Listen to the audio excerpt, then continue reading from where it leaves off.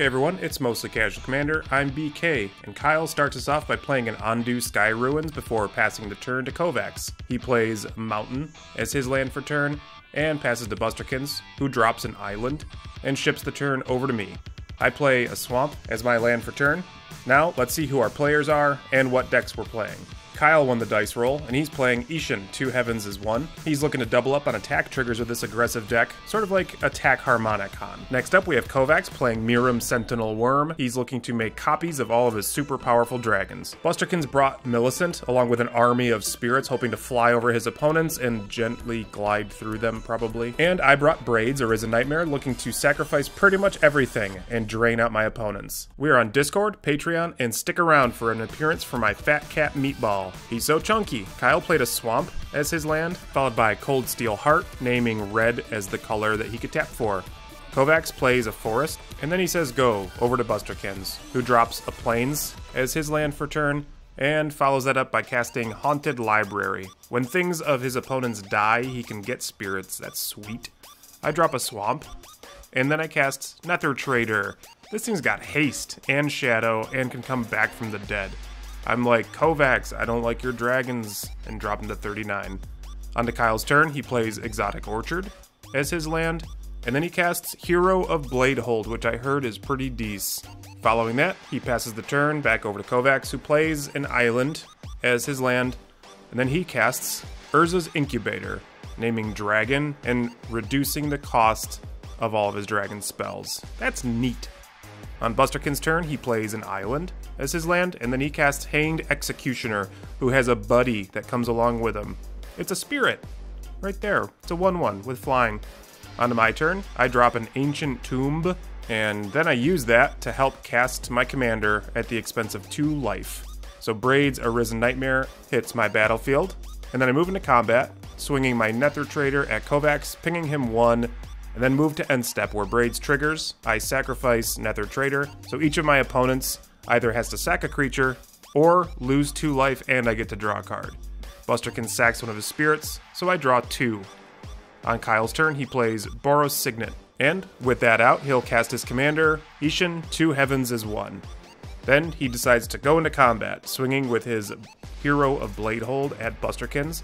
This has two triggers, getting him four soldier tokens. He swings them at me, and I block one with braids, and I take a few points of life as does Busterkins. The damage is dealt, a soldier dies, we clean up the board, and then in main phase 2, Kyle plays Nomad Outpost as his land before passing over to Kovacs, who plays another forest as his land, and with that, he'll cast his commander, Miirym, Sentinel Wyrm, allowing him to start making copies of dragons when they ETB. On to Busterkin's turn, he drops another Plains, and with that, he'll cast Ethereal Investigator, when it enters the battlefield, he'll generate three clue tokens. Hey, that'll let him draw cards. On my turn, I drop a swamp, swamp drop, and follow that up by casting Grim Haruspex, hoping to get some value by drawing cards when my stuff dies. I cast Endless Atlas as a follow-up play, also allowing me to draw. I don't sacrifice anything on my end step, which was probably a mistake. On Kyle's turn, he plays Big Score, getting two cards as well as two treasure tokens and all he had to do was discard one card. Can you believe it? He drops a swamp as his land for turn, and then he cracks some treasures, casting Cathar's Crusade, which is a, not a big deal. It's it's fine. Everything's fine. He moves into combat. So again, Isshin doubles up Hero of Bladehold's triggers, and he gets four more soldier tokens entering the battlefield. This triggers Cathar's Crusade, and then he declares his attacks he deals damage to all of us because he's he's so mean. I make the bold decision to take all of the damage as opposed to chump blocking because hey, I need my stuff so that I could try to actually do something. Am I right? So Kyle became enemy number one. I can hit him pretty hard. And you remove him. No. I changed these to treasures. In this situation, I wish you could, Busterkins. Kovacs cast Rapacious Dragon, so when it ETBs, not only does it get copied thanks to Miirym, but it also produces two treasure tokens. In this case, it's four. You know, because there's two of them. And using some of those treasures, Kovacs casts Hellkite Charger, and again, when that enters the battlefield, a copy of it is made. And with the last of his treasures, he casts Livaan, Cultist of Tiamat, This also makes a copy, but because it's a legendary thing, it legend rules itself and dies. Kovacs then moves into combat, punching Kyle in the face with his dragons, dropping him down to 22. He passes the turn to Busterkins, who has Darksteel Mutation, which enchants the hero of Bladehold, hopefully stemming some of the bleeding. Onto my turn, I play Drownyard Temple, and then I bravely use my Ancient Tomb to activate my Endless Atlas, drawing a card, and I find a Plaguecrafter. So I cast that, and everybody's got to sacrifice a creature.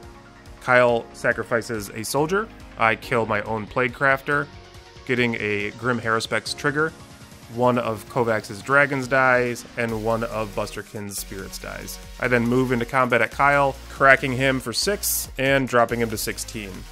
And I move to end step, triggering Braids. I sacrifice Braids herself. This also triggers Grim Haruspex, and Busterkins also can make a spirit token thanks to Haunted Library. My opponents each take two, therefore I draw three cards from Braids and one more from Grim Haruspex. I pass the turn after discarding, back over to Kyle, who plays Abrade, killing one of Kovacs' creatures, and then he casts Dockside Extortionist. This will generate him six whole treasure tokens, and when it enters the battlefield, it will also trigger Cathar's Crusade, therefore giving all of his creatures a plus one plus one counter. He forgets to put it on Dockside immediately, but catches that in just a moment. He moves into combat, swinging at Kovacs and I. Before damage, I cast Defile on the one soldier token that's attacking me. This doesn't kill it, but it shrinks it, and I only take one. Hanging in there. Unfortunately, Kovacs gets knocked out of the game after being dealt enough damage. With that, Kyle in second main phase casts Valakut Awakening, so he'll put one card to the bottom of his library, and then he gets to draw two cards. Then he drops Inspiring Vantage, which of course enters the battlefield tapped. He casts Talisman of Conviction, and then he passes the turn over to Busterkins. He draws, and then he plays another island as his land for turn, and he follows that up by activating a clue, cracking it, and drawing. This will trigger his Ethereal Investigator, getting him another spirit token. He passes. I play Takanuma, Abandoned Mine, and then I activate Endless Atlas, again drawing a card and hoping to find some sort of answer to deal with Kyle. On Kyle's turn, he plays Esper Sentinel, not because he's going to exact much value other than the plus one plus one counters thanks to Cathar's Crusade. He moves into combat, swinging two creatures at me this time, and Busterkins chump blocks three of his creatures and Cyclonic Rifts one of the soldier tokens as well. Because the soldier doesn't bounce back to Cal's hand, it just goes away. And speaking of going away, I too am going away. So I clean up my board, but Busterkins forgets to clean up his after blocks. These are all dead. No, that's fine. These are these are all dead. That's fine. I was gonna say, oh dang, he survived that. Wow, that's Block, I crazy. blocked them. I didn't say that they died. They block but also don't take damage. Yeah. So Busterkins cracks into a clue, drawing a card, and hoping that some sort of answer exists. He finds a midnight clock, which is great, and he passes the turn over to Kyle. And Kyle goes right into the red zone, smashing Busterkins with all of his attackers, knocking him out of the game. Congratulations, Kyle! That's an awesome, aggressive Isshin deck. As promised, here's Meatball.